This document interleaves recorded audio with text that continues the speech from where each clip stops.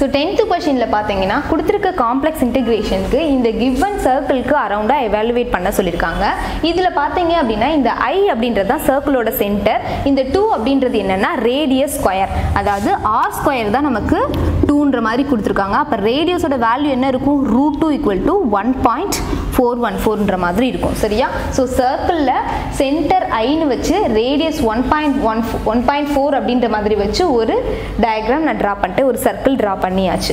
Next பாருங்கள் இந்த கொடுத்துருக்க காம்ப்ளெக்ஸ் இன்டகிரேஷனில் இந்த டினாமினேட்டரை சிம்பிள் போல்ஸாக ஸ்ப்ளிட் பண்ணி நான் எழுதியிருக்கேன். சரியா? இப்போ இந்த இசட் ப்ளஸ் டூ ஐயோட போல் நமக்கு என்ன கிடச்சிரும்? மைனஸ் டூ ஐன்னு கிடச்சிரும். இதோட போல் என்ன கிடச்சிரும்? ப்ளஸ் டூ ஐன்ற மாதிரி கிடச்சிரும். ஸோ இந்த ரெண்டு போல்ஸையும் இந்த டயக்ராமில் நான் ஜஸ்ட் ரெப்ரசென்ட் பண்ணியிருக்கேன். இங்கே ஒரு போல் அங்கே ஒரு போல்ன்ற மாதிரி ரெப்ரசென்ட் பண்ணியாச்சு. இதில் இந்த மைனஸ் டூ ஐ அப்படின்ற போல் என்ன அப்படின்னா சர்க்கிளுக்கு அவுட் சைடில் லை ஆயிருக்கு. ப்ளஸ் டூ ஐ அப்படின்ற போல் பார்த்தீங்கன்னா சர்க்கிளுக்கு இன்சைடில் லை ஆயிருக்கு. சரியா? எப்போவுமே சர்க்கிளுக்கு இன்சைடில் லை ஆயிருக்க போல்ஸ்க்கு தான் நம்ம ரெசிடியூ கால்குலேட் பண்ண முடியும். சர்க்கிளுக்கு அவுட் சைடில் லை ஆயிருக்க போல்ஸ்க்கு ரெசிடியூ ஆல்வேஸ் ஜீரோ தான்.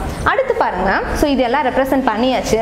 ஃபைனலாக இந்த காட்சிஸ் தியரம்க்கு வரும். காட்சிஸ் தியரம் என்ன சொல்ல வராங்க அப்படின்னா integral of f of z divided by z minus a d z இந்த இசட் மைனஸ் ஏ அப்படின்றது இந்த சர்க்கிளுக்கு உள்ள லை ஆகிருக்க போல தான் ரெப்ரசன்ட் பண்ணுறாங்க அதோட ஃபார்முலா பாருங்க. Two pi a into residue of f of z at z equal to a அப்படின்ற மாதிரி சொல்லிட்டாங்க. ஸோ அப்போ நம்ம என்ன பண்ணணும்னா இந்த காம்ப்ளெக்ஸ் இன்டகிரேஷனை இந்த ஃபார்மெட்க்கு சேஞ்ச் பண்ணணும். அதாவது இப்படி இருக்கிறத நான் எப்படி எழுதியிருக்கேன் அப்படின்னா இந்த மாதிரி எழுதியிருக்கேன். அதாவது இங்கே இருக்குல்ல இந்த இசட் மைனஸ் டூ ஐ இந்த போலில் தான் நமக்கு வந்து அந்த பாயிண்ட் வந்து சர்க்கிள்க்கு இன்சைடில் வருது.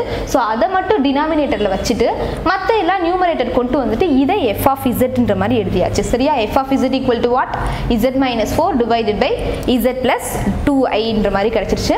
ஓகே ஸோ இப்போ சப்ஸ்டியூட் பண்ணலாமா? இந்த ரெசிடியூ ஆஃப் எஃப் ஆஃப் இசட்டை மட்டும் நான் இங்கே சப்ஸ்டியூட் பண்ணுறேன் டூ ஐ இது இந்த வேல்யூ அப்படியே இங்கே சப்ஸ்டியூட் பண்ணி இசட் ஈக்குவல் டு டூ ஐன்ற மாதிரி சப்ஸ்டியூட் பண்ணுறேன் ஃபைனலாக எனக்கு என்ன கிடைக்குது அப்படின்னா இதை சிம்பிளிஃபை பண்ணால் மைனஸ் ஃபோர் பைன்ற மாதிரி கிடைச்சிது. ஸோ இதோட ஆன்சர் என்னன்னு பார்த்தீங்கன்னா மைனஸ் ஃபோர் பை